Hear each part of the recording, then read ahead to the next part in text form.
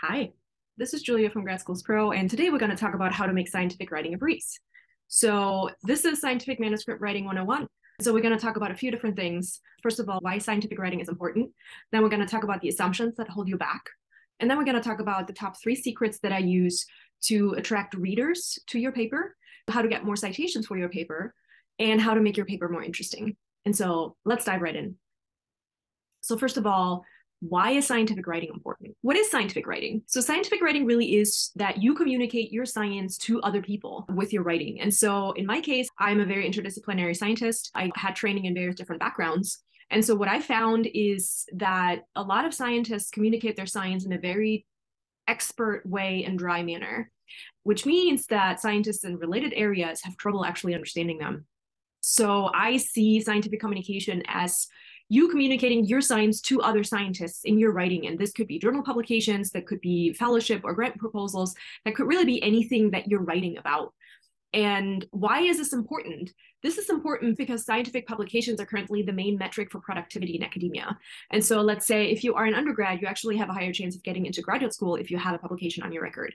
If you are a graduate student, you need publications to graduate. And the more or higher quality publications you have, the higher your chances are for later on to get a better or more well paid job. And so, really, scientific publications and scientific writing are an incredibly important skill that you need to hone in graduate school. Now, the problem with this is the following in science and academia at universities, at colleges, oftentimes the scientific skills are focused on, and scientific communication is basically put on the back burner. So that means scientific communication classes are either not available, they're not for credit, they're not prioritized, or they're not taught well. And so this means that oftentimes it is left to the professor or to the lab to teach you as a graduate student how to communicate your science well. Now, the other problem is that if you look at your professor, they're probably incredibly busy and have a thousand things to do. You're not the only lab member most of the time.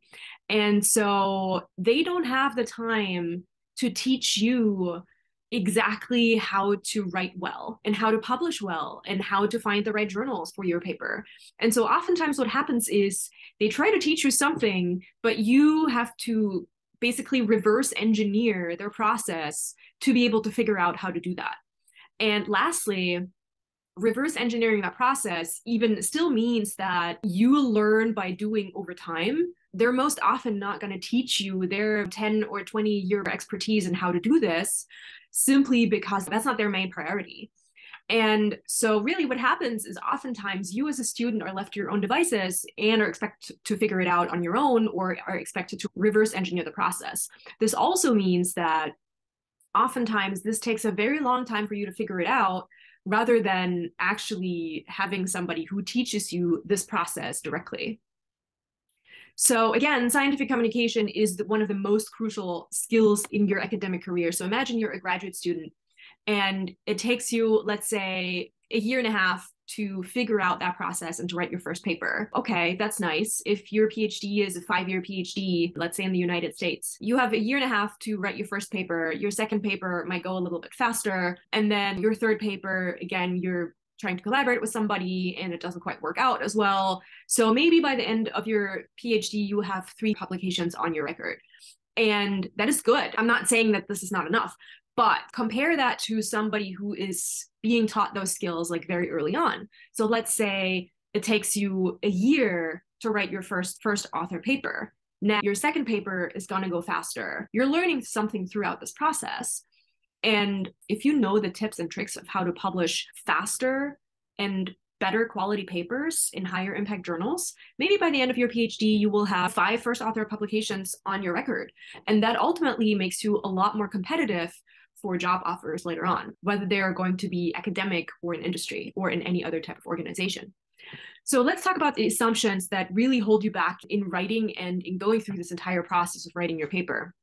So the first assumption is that many people have is I'm just not a good writer. And let me tell you, writing is a learnable skill and it can actually be fun. It's also one of those things that's like you feel like you're not a good writer, which means you're avoiding it which means it's actually not going to be fun for you. Let me turn this around. Let me tell you that writing is a skill just like science. It's not any more squishy than anything else. There's strategies that you can learn to be able to write your paper. And that means you can follow a step by step process. That means there's not a lot of question marks throughout this entire process, which can actually make it fun because it's more predictable. So the second assumption that you might have is that, oh, writing can be quick, right? So let's say you were in high school or in undergrad and you wrote a class paper, you had to write class papers and research papers, and you could do this in a weekend. You could do this, heck, maybe in an evening. It wasn't fun, but you could do it. And they graded you on it. Okay, so maybe you weren't great at it, but you could do it, right? From a time perspective, this assumption does not hold in graduate school or for anything that you are submitting for publication in a journal. Writing a paper for publication in academia and grad school as a postdoc takes a lot longer than what you're used to.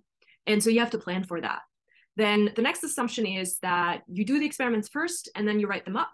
And that's when the writing process starts, right? Let me turn this around here. You can actually use your writing as a planning tool for your experiments so that the whole process will actually go a lot faster. The last assumption that you might have is that the success rate of your experiments, right? So you are used to your experiments working out in the vast majority of cases. Let's say when you were in high school or when you were in undergrad and you did physics experiments or chemistry experiments, they worked out in 80 or 90% of the cases simply because they were tested. Your teachers or teaching assistants spend a lot of time in testing those experiments, and therefore they really work. They knew exactly what the results are going to be. And this is not the case in graduate school or in academia, right? So you are doing new science. And really, what you're used to, that assumption does not hold anymore. So now your failure rate is 80%. You're going into uncharted territory. You don't know what the results of those experiments are going to be, which is why you're making them in the first place.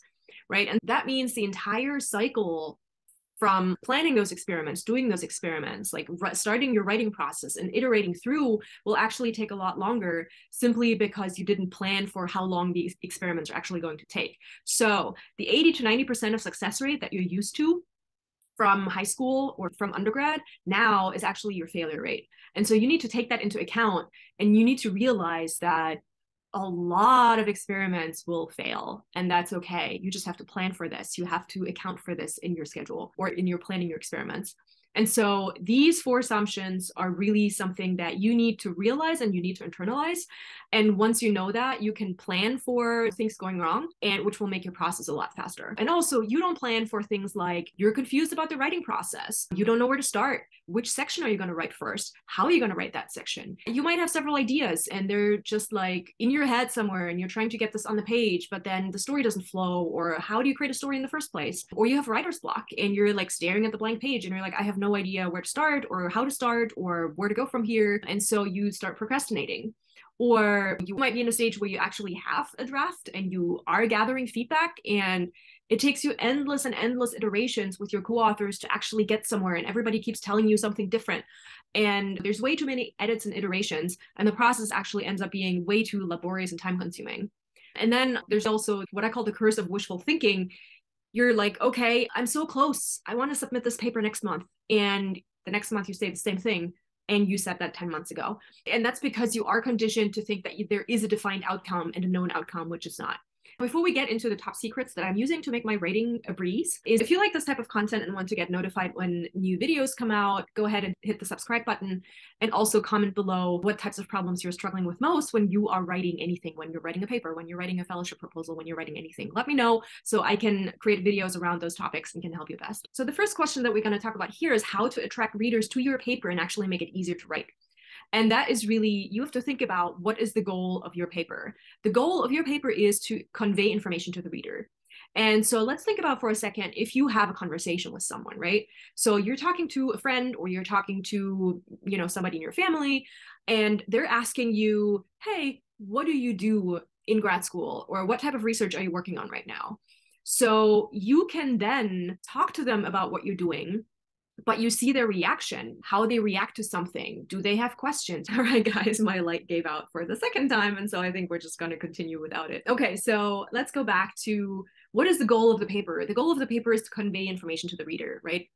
And if you have a conversation with somebody, you can tell them exactly what you're doing and you will see their reaction, right? So you will see from their body language whether they understand what you're saying Do you have to explain things a little bit differently for them to understand what you're doing? This is really where they can ask questions and you can answer those questions to actually make sure they understand what you're trying to tell them. So now think about a paper. In a paper, you're conveying that information to the reader via a paper. The problem is you cannot see their face, you cannot see their body language. And therefore, you don't know, you know, how they're going to react to your writing. And what you need to do when you're writing your paper is ideally you want to shift your focus from yourself to the reader.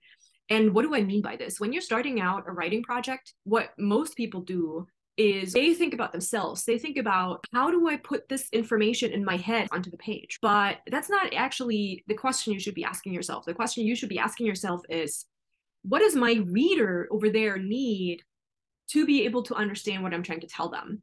And so if you picture them, if you picture who your audience is, and it makes it actually a lot easier for you to write because you're taking into account their needs and you're taking into account who they are, what their background is. Do they understand all the specific expert lingo that you're trying to use? Or do they need a little bit more of an introduction? And so taking this into account actually makes it a lot easier for you to write your paper. And also it makes it a lot easier for people in related areas to be able to read your paper and actually gain something from it. So really focus on the reader. Who is the reader? Think about the reader might be another graduate student who is this is like their fifth paper that they have to read that day. They're most likely very busy. They're super busy. Maybe they have a thousand things in their head maybe they just had a big lunch and have low energy levels or because they're tired because they've been working 14 hours a day. So think about that when you write your paper because taking this into account actually allows you to write for them and not for you. So you want to write for your reader instead of for yourself. Obviously if you're publishing a paper the goal is also for you to get a publication out of it but if you are thinking about who your reader is, it's going to make it a lot easier for you to write your paper. And secondly, it's actually going to get more exposure simply because they're going to have an easier time finding your paper, interacting with it, and getting something out of it in the first place. So, how can you make it easy for them? You need to be brief, you need to be clear, and you need to be quantitative. Because ultimately, and this is something that I always teach my students, the reader ultimately wants to read the paper without reading the paper. And what does that mean? There's a couple different tips and tricks that I'm teaching in my Zero to Publish program that's linked down below, but basically use layout that facilitates skimming. And there's a lot more that goes into it, but essentially think about yourself when you are reading a paper. How do you read a paper? Do you want to read an abstract with so much expert language that you don't actually even really want to read it?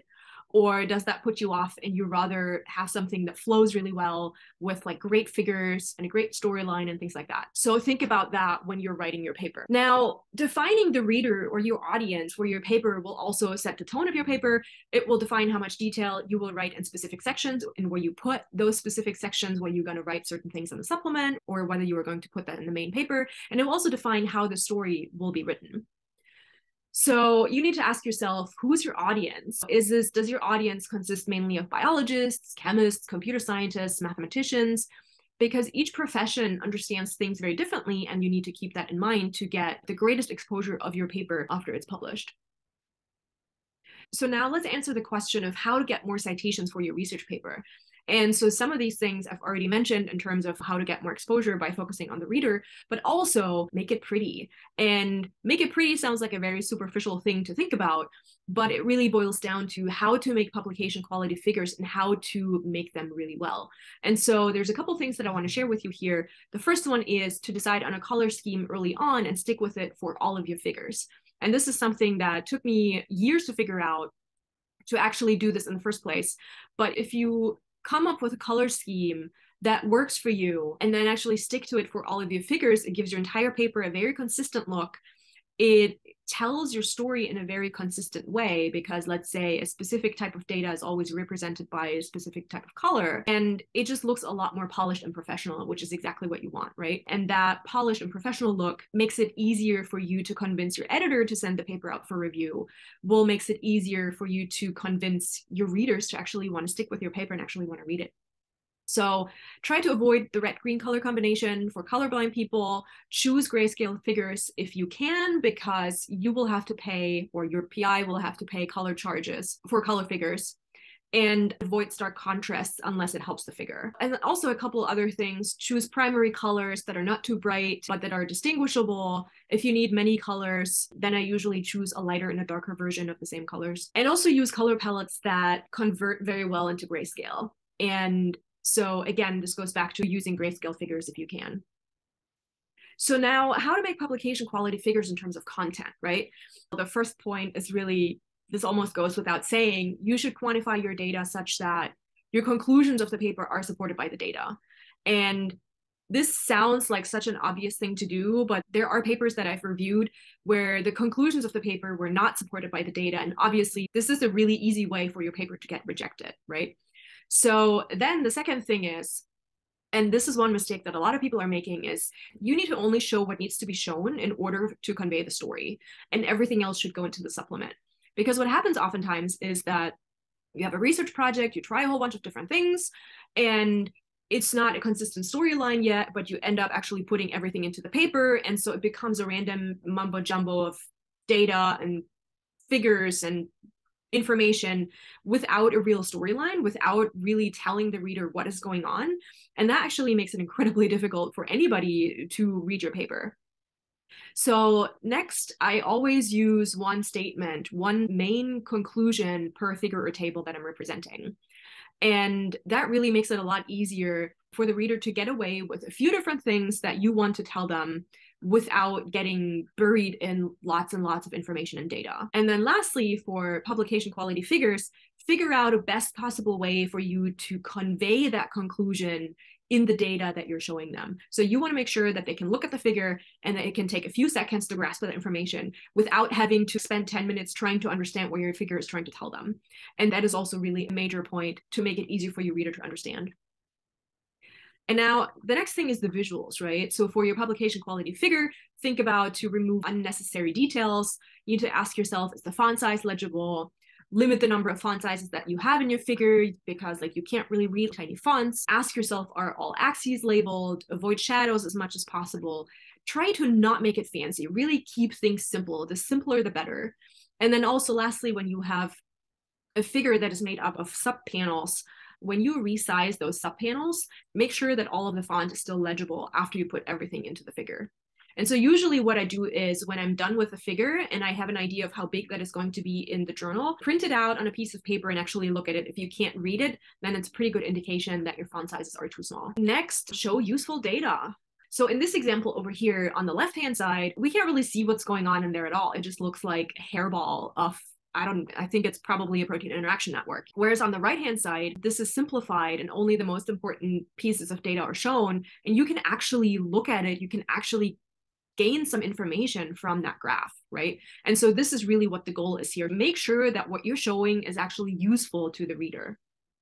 Avoid 3D plots as much as possible. And I know 3D plots are sometimes like, they can be very pretty, but putting a 3D plot into two dimensions really removes one dimension of information, which makes it a lot more difficult to understand where on the axes your data point actually falls onto.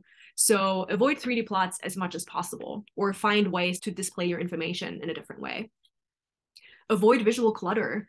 And again, I'm showing examples over here where you have either too many colors, too many different colors, you have serif and sans serif fonts, you have too many different font sizes, your fonts are like so close to each other that they almost overlap, things like that. You have too many abbreviations, you have no idea what's going on in this figure. So these are definitely things to avoid. Then let's talk about figure captions for a second. Figure captions should stand on their own. So anybody should be able to understand what you're trying to tell them. They should be able to look at one figure and one caption and understand part of the entire story in the paper that you're trying to tell them. So your figure caption should not be like, oh, all of this is described in this particular section. The goal of a figure caption is to describe what's shown in the figure and not more or less. Don't use abbreviations, keep it brief. There's usually a word limit that the journal dictates. If you need more than the word limit, it really means your figure is not clear enough and you need to go back and redo the visuals for your figure. So now let's talk about how to make your research paper more interesting. And this is really to tell a story. And you're probably thinking, but I'm a scientist. What about storytelling? Remember when maybe when you were a kid and you went camping and your family would sit around the campfire and would tell each other stories? Storytelling is one of the oldest ways to keep information alive, whether this would be around a campfire or TED Talks. TED Talks are just so much fun to listen to because they're really they're done incredibly well. And what most of them do is they tell a story. And people remember stories and not just data points. So rep your data points into a story, and it can be a scientific story, and it should be a scientific story most of the time. But don't just keep things so dry, right? So science is inherently interesting. Think about high school. You did all of those cool, fun experiments, or even now you're doing all those cool and fun experiments. Present it that way, make it interesting. Write your paper in a way that the reader doesn't fall asleep reading it. So, really consider this when you write your paper. And again, I'm going to teach you more about how to create a great storyline and how to put the elements of your paper into that storyline to really make your paper easier to write and easier to read.